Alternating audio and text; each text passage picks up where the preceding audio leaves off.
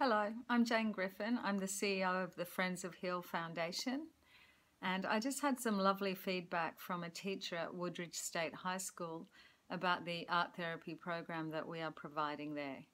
So she's a little shy about appearing on camera, but I wrote down her words, so I'll just say them to you.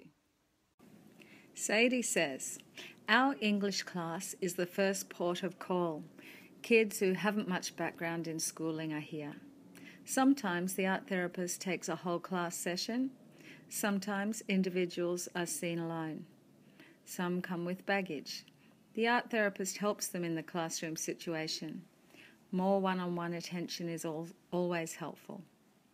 Somewhere to let off steam is useful and it helps avoid worries. Art therapy helps student behaviour improve. It allows a way into learning and communicating with the art therapist helps. If we didn't have creative art therapy, I'd be stressed out. The things these kids carry are complex. The art therapist can unpack all that in a safe environment.